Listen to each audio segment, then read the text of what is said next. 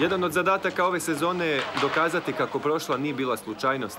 Veliku ulogu imat će nova lica u slačionici Medveščaka.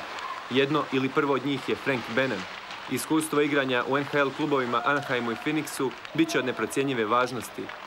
Uz to, trije sezone proveo u Salzburgu, dvije u Olimpiji gdje je prošle sezone izabran za najkorisnijeg igrača s 32 postignuta gola. Ovaj 35-godišnji Kanadžanin zasigurno je najveće ovo sezonsko pojačanje. Nadam se barem jednako uspješnoj sezoni kao i prošle godine.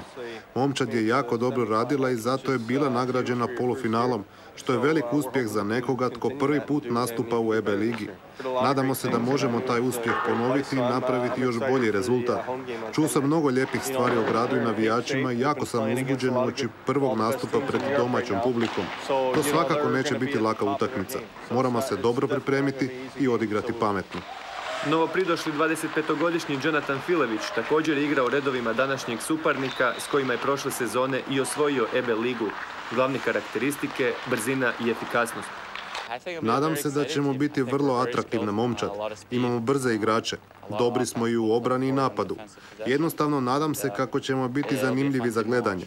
Znam dosta o Salzburgu jer sam tamo bio i zasigurno će mi biti veliko zadovoljstvo zaigrati protiv prijatelja iz bivšeg kluba. 24-godišnji Vejsi Rebit stigao je iz Milwaukee Admiralsa. Kako mu prezime sugerira, Rebit ili Zec je brz klizač i na probnom roku je vrlo brzo osvojio upravu i struku. Sjajno se uklapa u taj željeni dinamični hokej. Ove sezone moj klub nije više računao na mene pa je dolazak u Hrvatsku postao jedna od opcija. Imao sam prigodu čuti nekoliko informacija od nekih igrača o klubu, gradu i navijačima i jedva čekam se bolje upoznati. Uz spomenutu napadačku trojku igrački kadar Medveščaka popunili su Kinašević, Gazdić i Donald McLean. Ovaj posljednji spomenuti je novi kanadski napadač od kojeg očekuje da bude Al Pari Benemu ili čak i bolji. Njih dvojica bi lako mogli biti u prvoj napadačkoj liniji.